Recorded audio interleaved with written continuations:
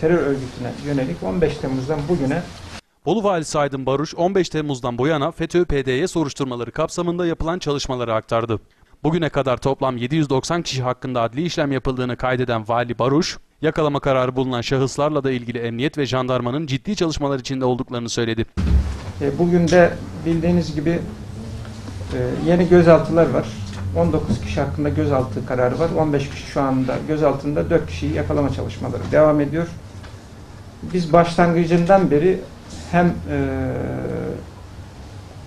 kamu görevlilerinden hem de normal serbest meslek mensupları ve dışarıdaki e, kişilerden bu örgütle işbirliği yaparak örgüte katkı sağlamış, ona e, onun çalışmalarına yardımcı olmuş, ee, ve bu örgüt adına e, insanların hakkını, hukukunu ihlal etmiş kişilerle ilgili olarak gereken her şeyi yapıyoruz. Bu mücadelede e, gerek adli makamlar, gerek emniyet, jandarma, e, valiliğimiz koordinesinde bu kurumlar e, çok ciddi bir şekilde işbirliği yapıyor.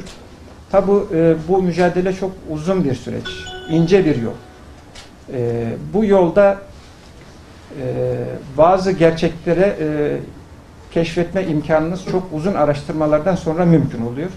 Dolayısıyla bu süreç e, devam edecek e, ve önümüzdeki günlerde de hakkında işlem yapılanlar olacak. Hiçbir zaman sekteye uğraması söz konusu değil. E, ben bugüne kadar e, aldığımız mesafe ile ilgili bazı rakamları sizlerle paylaşmak istiyorum. E, Bolu ilimizde FETÖ-PDY soruşturmaları kapsamında bugüne kadar 790 kişi hakkında adli işlem yapıldı. Bu 790 kişiden e, tutuklama e, tedbiri alınan 335 kişi var.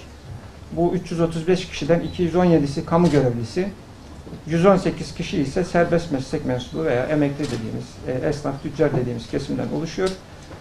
E, 257 kişi adli kontrolle serbest bırakıldı. 118 kişi savcılıktan serbest bırakıldı. Şu anda da firari durumda yakalama e, kararı olan 80 kişi var. Biz e, yakalama kararı olan kişilerle ilgili olarak emniyetimiz, jandarmamız ciddi çalışmalar içerisinde.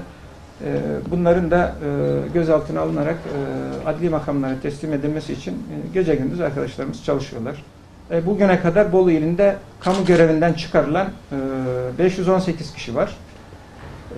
Halen görevinden uzaklaştırılmış durumda olan 118 kişi var.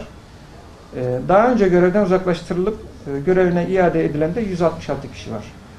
Ee, dolayısıyla hem kamu görevlileriyle ilgili olarak hem de e, diğer kesimlerle ilgili olarak bu çalışmalar yoğun bir şekilde devam ediyor. Ee, ve önümüzdeki süreçte de aynı şekilde, aynı ciddiyetle devam edecek. Ve bu örgütün e, en ufak bağlantıların, en ufak dahi olsa bağlantıların ortaya çıkarılması için adli makamlarla birlikte e, güvenlik güçlerimiz yoğun çaba sarf ediyorlar.